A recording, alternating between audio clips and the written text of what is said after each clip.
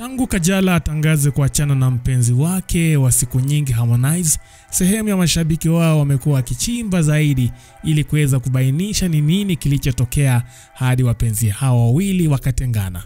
Na kulingana na habari ambazo zimetufikia hivi sasa, mmoja wa waliokuwa marafiki wa Harmonize anayejulikana kama H Baba ameweza kumwaga mtama na kufichua yaliyojiri katika boma la Harmonize hadi Kajala akaamua kuachana naye.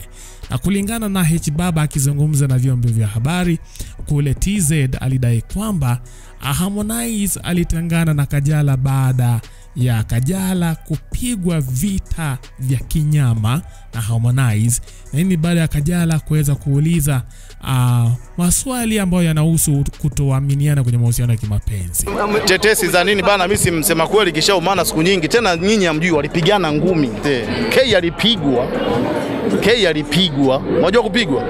Mama akasema kwa kuwa umenipiga, ili penzi aliwezi tena kurudi. Na Harmonize mwenyewe aliweza kupewa mawaidha na H Baba, huku H Baba akidai kwamba kile ambacho kimebaki kwa mwanamuziki huyu ni kumrejelea yule mpenzi wake wa zamani mwenye asili ya Kiitaliano anayejulikana kama Sara, kwa sababu huyo ndiye atakayemwokoa kimapenzi.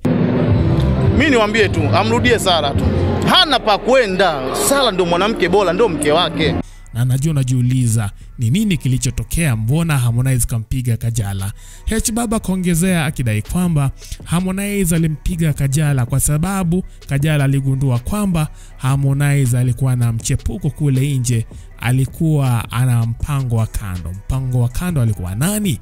Yule dada ambaye alionekana kwa video ya Harmonize ya amelowa huyo dada mwenyewe ndiye H Baba anadai kwamba Harmonize alikuwa anahepa usiku, anaenda kujisaidia kimapenzi na huyu dada.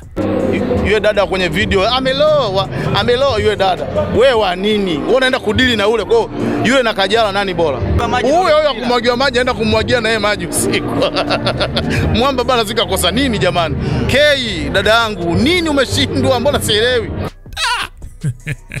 mambo ya Harmonize hayo. Anyway, what are your thoughts? You can leave your thoughts in the comment section. Thank you for watching.